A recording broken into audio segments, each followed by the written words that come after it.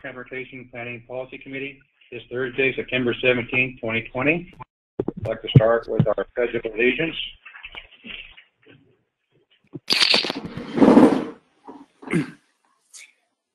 Salute, pledge allegiance to the flag of the United States of America and to the republic for which it stands, Republic for which one it stands, under God, and indivisible, under God, with liberty indivisible, and justice for all. Liberty and justice for all.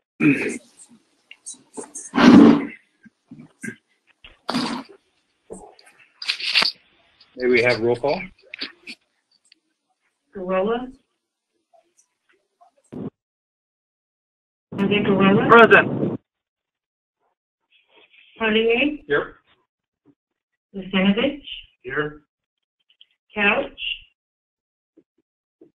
Here. Scrivner. Vallejo. Grace Vallejo. Here, Crump. John Crump.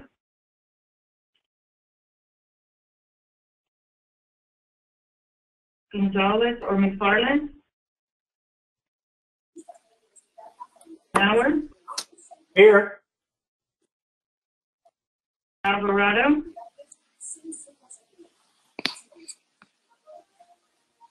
Fryer. Here. P. Smith. Here. Reyna. Gilberto Reyna. Here.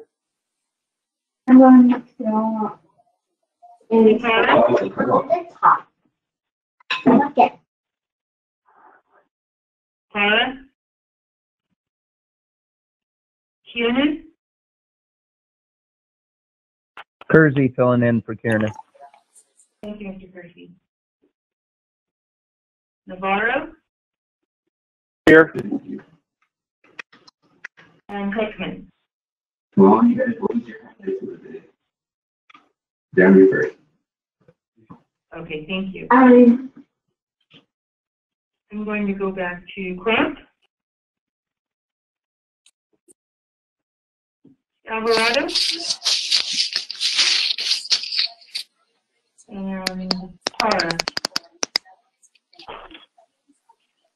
Thank you. Thank you. Um, Word number three, public comments. Uh, We have no public comments. No public. Anybody on the line that would like to make uh, any public comments on on the phone? Seeing none or hearing none? Um, Regular consent agenda, um, for opportunity for a public comment and not hearing or uh, from anybody, we'll go on to uh, approval of uh, consent calendar from A to I. Um, Consent calendar, do we have a, a motion? This is Reyna, so moved. Couch second. Okay, good. And we need roll call? Thank you. Gurrola, Yes. Cartier, Aye. Lucinovich, Aye. Couch, Yes. Vallejo, yes, Mauer, Yes. Fryer, Yes. P. Smith, Yes. Reyna, Yes. Percy, Yes. Navarro. Yes. Thank you. I, I just came on board. This is uh, uh, Gilbert Alvarado. Thank you, Deborah. Okay. Passes on. Unanimous. Uh, number five, um, 2019 Federal Transportation Improvement Program, draft amendment.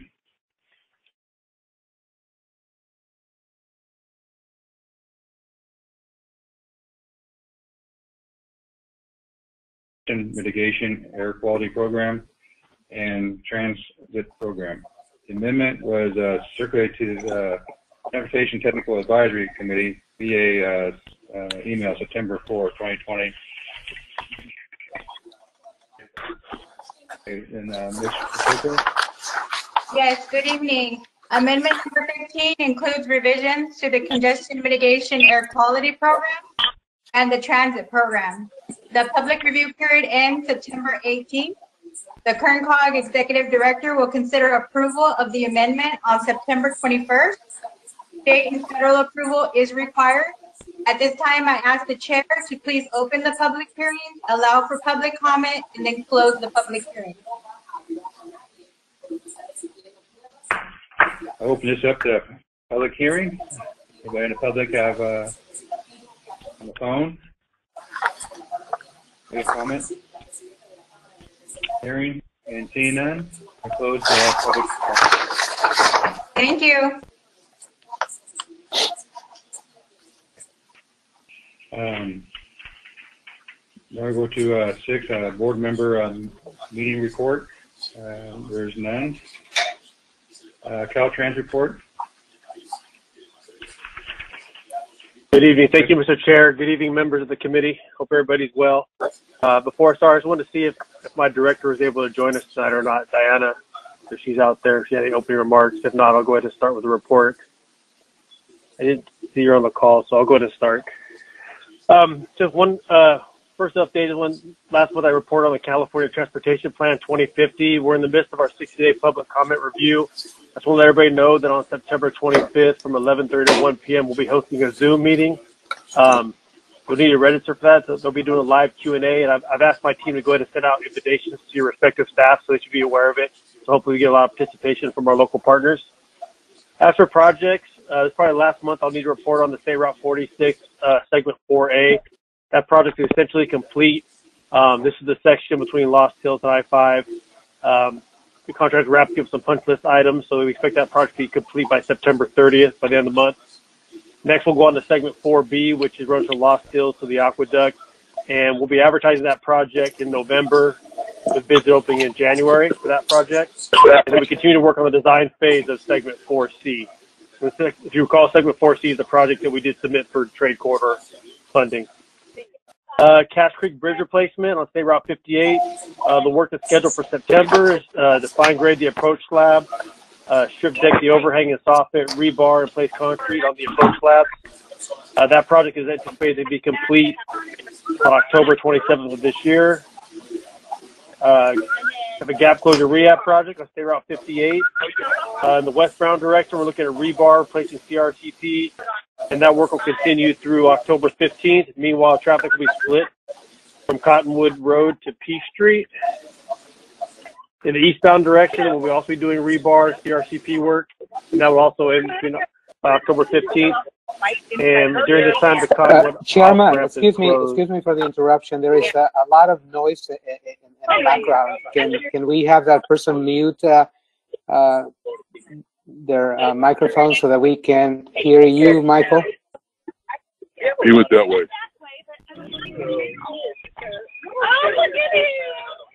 All those, uh, can mute your, mute your phones. or hear. He couldn't have gotten out that fast. Oh, there he is.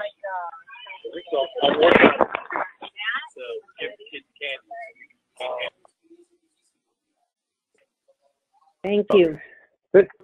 Thank you for that. I'm sorry. Uh, if I need to go back and revisit anything, please let me know. Um, with that, I'll move forward to the Belle Terrace overcrossing. We're constructing auxiliary lane, replacing the bridge.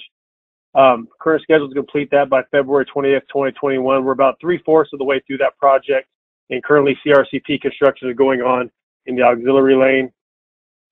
Uh, Bakersfield Freeway Connector. This is modifying the State Route 9958 interchange. Uh, this is scheduled for completion end of 2021. Uh, we're about 60% through this project. Work is continuing to progress, and most of the work is, occur- is occurring right now is structure work. Uh, Stockdale Highway at Enos Avenue, State Route 43 roundabout. This work's essentially done. If you recall, there was a lighting uh, conflict that had to be resolved, but installation has now occurred and the contractor is wrapping up the final punch list items. Uh, 99 Palm Avenue overcrossing to Beardsley to the Canal Bridge. Um, the northbound Airport Drive and the northbound 99 California on-ramp are uh, still scheduled for uh, to be reopened by the end of this month. Uh, next, with some tentative traffic configuration changes, traffic will switch to the next phase in the month as well, placing traffic on the outside lanes.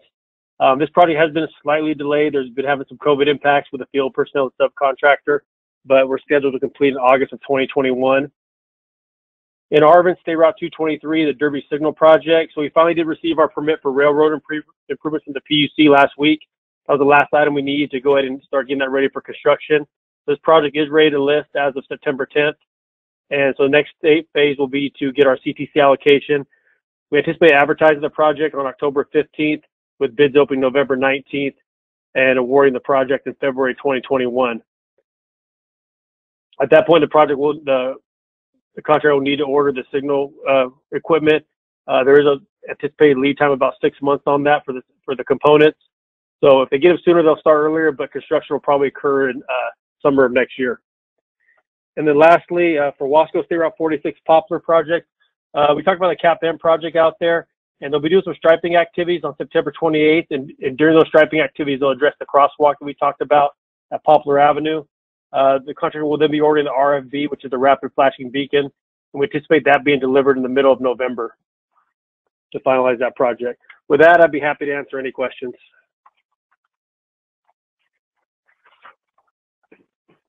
Does the board have any questions for Michael? No, no, no, no. Mm, mm, mm,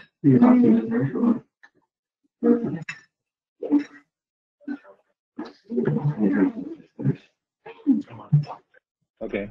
Okay, uh, number nine, go ahead. Yeah, hi there. Good evening, Chair and board members. Uh, Project-related updates. Our Mojave uh, Crew Maintenance Equipment Building and Rinser Facility, for all intents and purposes, is complete. However, we're awaiting um, final inspection by the fire marshal, which is, as you can imagine, a little, running a little behind. So we're hoping for mid-October on that.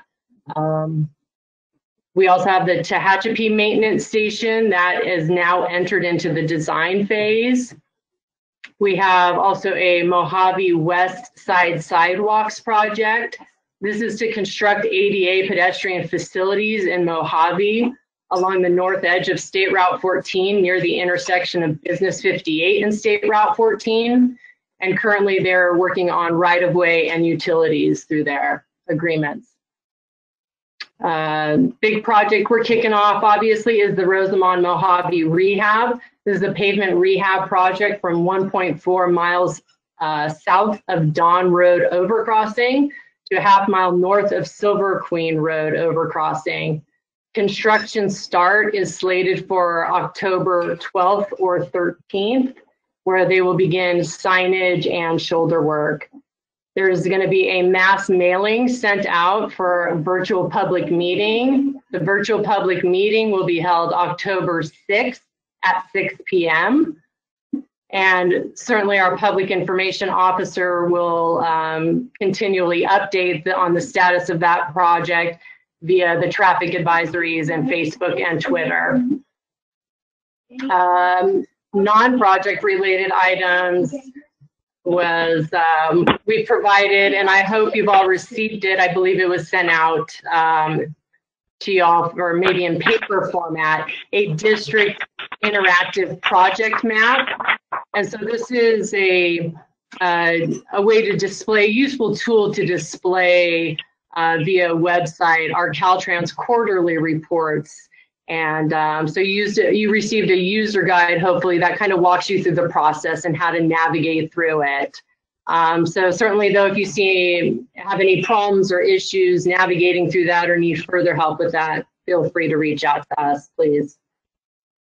And then also um, our District 9 Regional Planner, Catherine Carr, uh, has started to make contact with some folks about an in, with an informal WebEx interview to identify regional issues and opportunities for State Route 202, active transportation infrastructure, and a State Route 58 corridor management plan.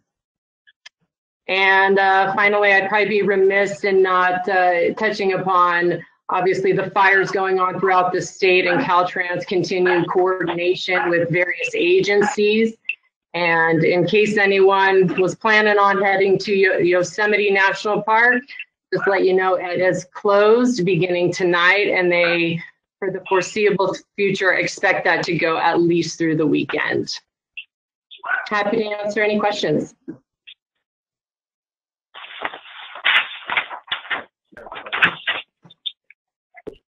Danae, uh, I asked uh, Ryan a couple of weeks ago, and I asked Terry about uh, speed limits on uh, 58, not being uh, consistent, 65 or 70, and then coordinating with uh, San Bernardino County. Do you mind checking into that and getting back to us next month? Sure, can do.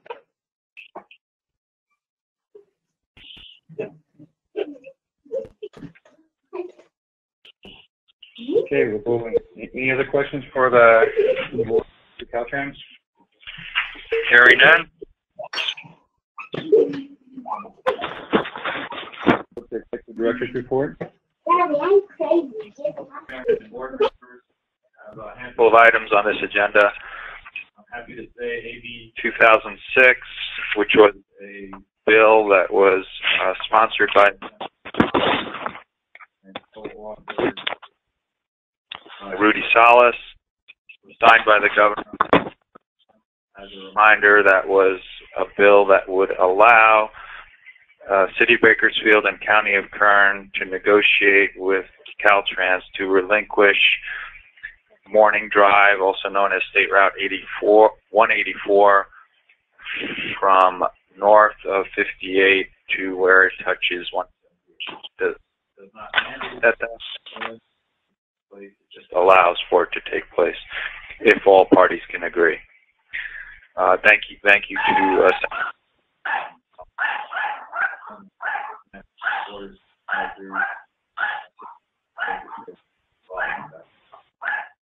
Caltrans Transportation Action will be on October 21st and 22nd. Several of our member agencies have agenda. I will likely,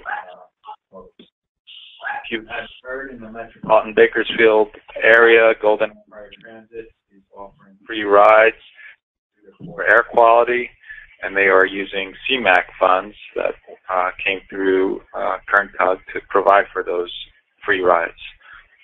Uh, on August 7th, I met with uh, Diana Gomez, the city manager, Bakersfield director, uh, and went over uh, all the trip projects. and Also spent some time talking about 23rd and 4th Street.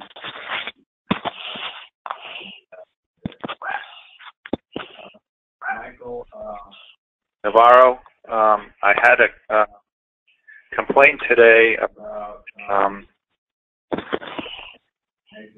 exiting um, Highway 58 near the National Cemetery. That's uh, 58 at 223. It's been a, a long-standing issue that uh, we've repeatedly brought up, um, and um, elected officials have repeatedly brought up.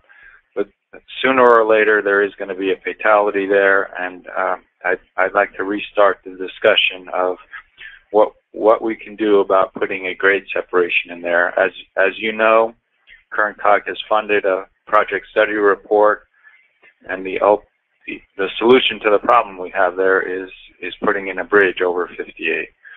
Um, if you can work out, um, maybe in conjunction with our meetings on 46, a separate meeting um, to talk about 58 and 223, I'd appreciate it. Uh, subject to any of your questions, uh, Mr. Chairman and board members, that concludes my report. Hi, uh, Mr. Chairman, this is uh, Phil Smith in Tehachapi. And regarding uh, uh, Aaron's last comment on 223-58 grade separation. Uh, we, uh, I attended uh, several public meetings a few years ago. Are those plans still on the shelf, or did you have to start from scratch on that? Uh, there was plans of grade separation at 223 and uh, vacating Caliente Road and having a uh, a, side a side street, if you will, a uh, uh, and are those plans still uh, on the books? Councilman those- plans are, are on the books. Uh, However, Caltrans, nor the county have not, not move the project forward other than the planning documents we have now. Uh, The next step would be to conduct an um, environmental analysis, prepare plans, and potentially buy right-of-way. Uh, We've been stuck for at least five or six years uh, at the the state where we are now, which is we have a planning level study done. We know what needs to be done there, yet we, we don't have someone willing to take the lead, nor, and this is the big one, pay for the rest of the, uh, the work. So I'll reiterate what Aaron said, our executive director, that it really does need to come to the forefront again and have more discussion. Thank you.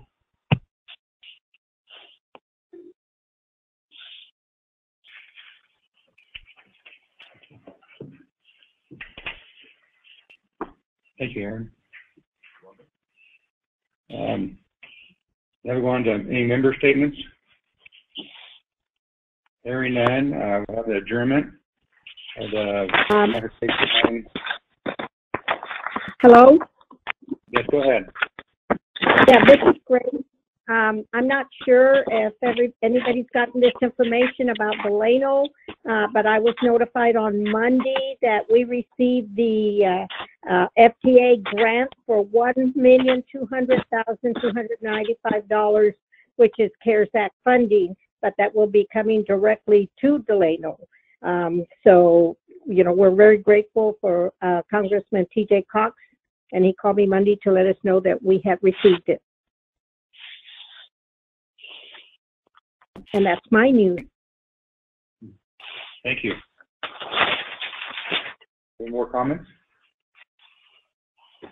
Okay, uh, I will adjourn County Planning Policy Committee and go right into, uh,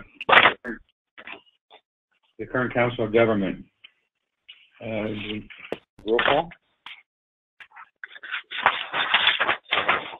Same?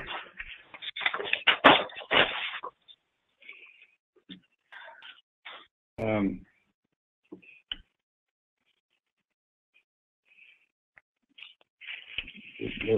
uh, any public comments for Kern COG? Hearing none, seeing none, and going to telephone. Go to, uh, the consent calendar for A through D. I have a motion. So moved. This is Vallejo. Yeah. And second. Second couch.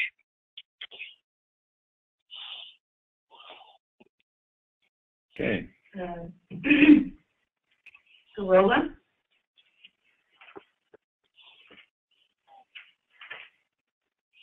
Jose Gurrola. Cartier, Aye. Pacinovich, Aye. Couch, Yes. Vallejo, Yes. Howard, Yes. Alvarado, Yes. Myers, Yes. T. Smith, Yes. and Reyna. Yes. Thank you. Okay, passes.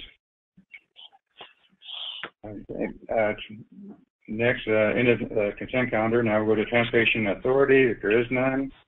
Congestion uh, Management Agency, I've seen none. Kern Motorist Authority, none. And uh, meeting report, there's none. Now go right directly to the Executive Director's report. Good evening again, Mr. Chairman. I have two items on this agenda. Um, One of the items in your folders or in your um, email packet that was um, sent to you today is a letter from Kings County Area Public Transit Agency describing some issues that um, Calvan is having. As all of you know, Kern Cog is a member of Calvan. That's um, a agency, a public agency that provides and cooling um, services for low cost to um, to workers who want to uh, to van. Uh, a lot of uh, the workers are farm workers, correctional workers, government workers. They are um, having some significant financial issues. Uh, Councilman John Crump is our member on that board. He's not in attendance tonight, but I've talked to him um, about some of the issues, and, and I will bring next month recommendations should go further about Calvan, process, or, or figure it out. We'll also provide more information uh, about the financial problems they have. Um, today was the last of three days of our uh, Valley Voice trip. The Valley Voice is typically where the eight counties in the uh, San Joaquin Valley get together and go to Washington D.C. Uh, talk to our elected officials, uh, members of, of the presidential administration, and members of various departments. We did, did all three days virtually. It was September 10th, 16th, and 17th. It was a, a successful meeting. Um, we did not get to meet the vice president like we did uh, last year. But other than that, considering that we were not in person, uh, I would, I would call it a successful meeting. Um, CalCog COG directors are meeting on September 29th. In your folders this evening, the letter I uh, just talked about from Kings County Area Public Transit Agency. If you have some time over the next month, please take a look at that.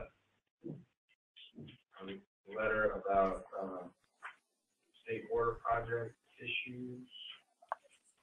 Schedule from July August. Timeline covering September through December.